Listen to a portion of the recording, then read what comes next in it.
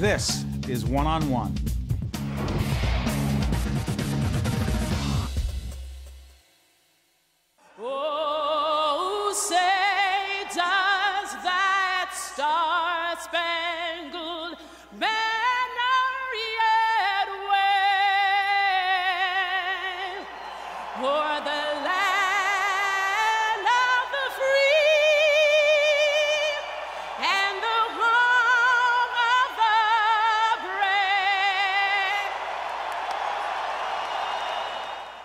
Yeah, she is good singing for the Devils. That is Arlette, singer, songwriter. She sings the national anthem for the New Jersey Devils, and every time she sings, they win.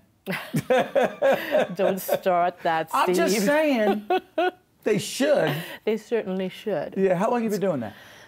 I've been doing that for quite some time. I would say, God, it's going on 18 years, maybe 17, 18, maybe more, but we'll just stop at that. By the way, I've known Arlette for a long time. We, um, I wish we didn't do what we wind up doing Yeah. every year after September 11th, but we do it um, at the Eagle Rock Reservation. Yes, we see each other once a year at um, the 9/11 memorial there, which is a beautiful ceremony, and you know people just get together to just be together and remember and you know celebrate life. And you've written a beautiful song that you sing every year. I do. I sing it one September morning. I, I wrote that song the week after um, the events of 9/11. Just you know, there was so much emotion and so much um, so much going on that I just had to Mm. pour it out. You know, so Yeah, but I'll tell you what. I'll tell you what. I was fascinated by the story as to how you got the New Jersey Devils gig, and it has to do with story? our mutual friend Lou Lamoriello, yes, yes, who is the GM, right? yes. So Lou Lamoriello is a fascinating guy, great businessman. Yes. And he hears you where? I was singing together with my husband at a restaurant in um, Manhattan in Second Avenue.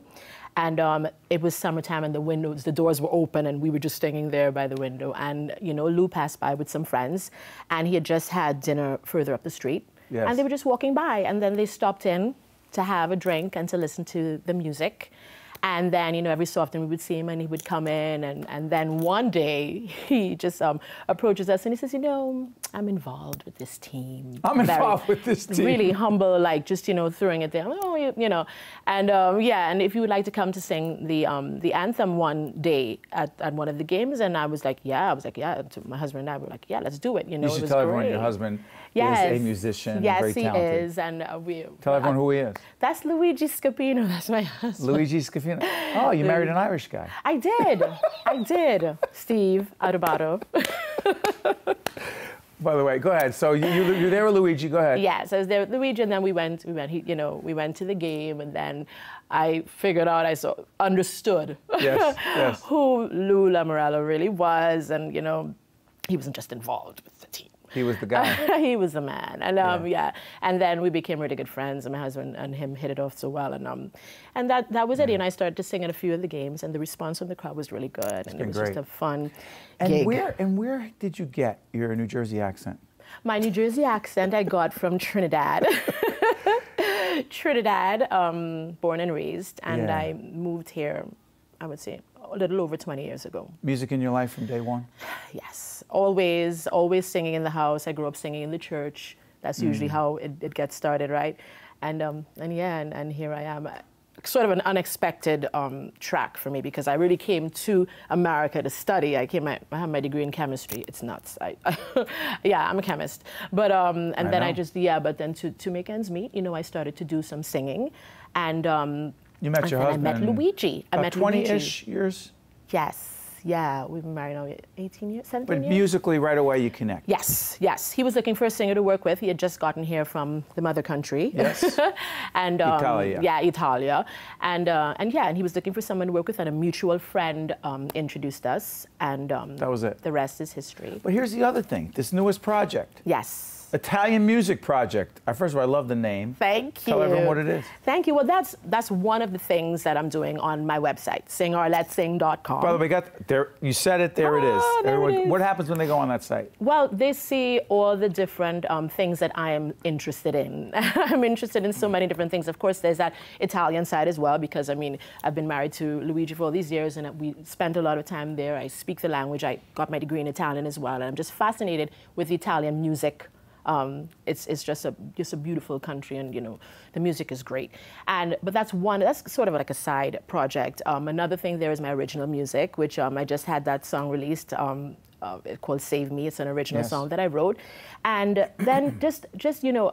I am a singer, and I do. This is what I do. I do the lounge singing and just covering songs and doing all. You call so- it lounge singing. yeah, is that a? Why do you call it that? Um, I don't know, Steve. It just came out. I have to think about why. Because it's in But you- lounges. That's where I That's a place, but they're not just in lounges, but Yes. but but your market, the Yes. market for Arlette. The mar- well, the market for Arlette up to Hmm. let's say this this time here before the original project um, has been that parties, weddings, lounges, you know, and, and doing this. And Word of mouth mostly. word of mouth. Hey, yes. I heard Arlette. She's Yes, fabulous. Let's get her. yes, Yes, That's it. yeah, that kind of works the best. It really, really does. The word of mouth. Like Lou Lamoriello walking on the street, Second Avenue in Manhattan. Yes. Here's my God, she's fabulous. Got to get her. Yeah. So you could have the greatest PR marketing team. Boom, I hear her. She's great. Word Got to of get mouth. Word of mouth is, is has been it for, for us, and um, and then of course the New Jersey Devils Forum that has been So, great. so people hearing you, yes. they know who you are, but also you have the Devil's jersey that says. Arlette on the back, which yes. only you have. Yes, yes. Has that impacted your career? Um, the Devils, I mean, familiarity, yes. Familiarity. I mean, so far, in terms of just um, the, the gigs and the jobs, and th- I wouldn't say that that has changed that much, but definitely familiarity, definitely Recognizability. recognizability. That's the word I was looking for. Recognizability. And, um, and at this point, too, you know, I mean, and the New Jersey Devils fans, they're so great. They show me so much love, so much Right. support. They've been really great, even with um, this new song that has been released and the video that you could see on my website as well.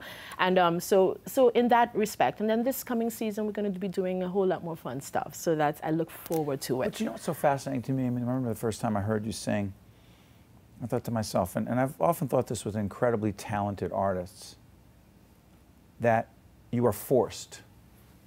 And it's just, listen, I'm not saying you complain about it. It is the way it is. Way it is. You are forced to be good at business.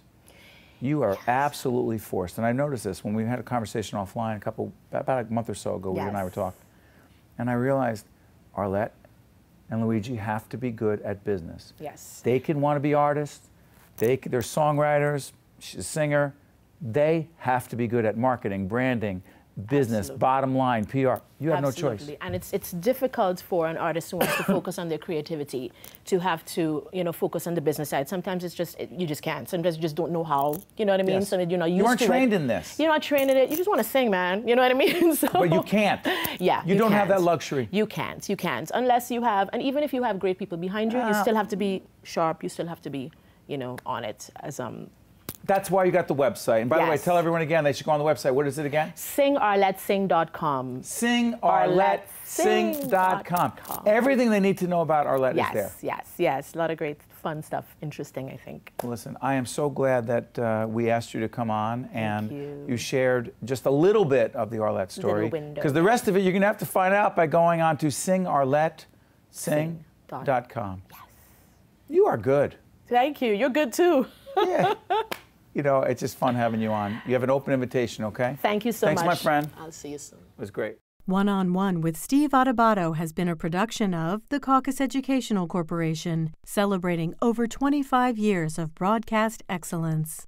Funding for this edition of One on One with Steve Adubato has been provided by Actavis in cooperation with the American Medicine Chest Challenge, MagnaCare, New Jersey Sharing Network, the law firm of Gibbons PC, Community Education Centers, PSE&G, Sun National Bank. Promotional support provided by The Record, North Jersey's trusted source, and NorthJersey.com, and by New Jersey Monthly, the magazine of the Garden State, available at newsstands. Transportation provided by Airbrook Limousine, serving the metropolitan New York, New Jersey area. Imagine you're enjoying your child's baseball game. As hard as it is to believe, one of the nine children on the field may be abusing prescription drugs and getting them right out of your family's medicine chest. Join the American Medicine Chest Challenge by taking inventory and securing your medicine, safely disposing of your unwanted and expired medicine, and finally, talk to your kids. Visit AmericanMedicineChest.com to find out how.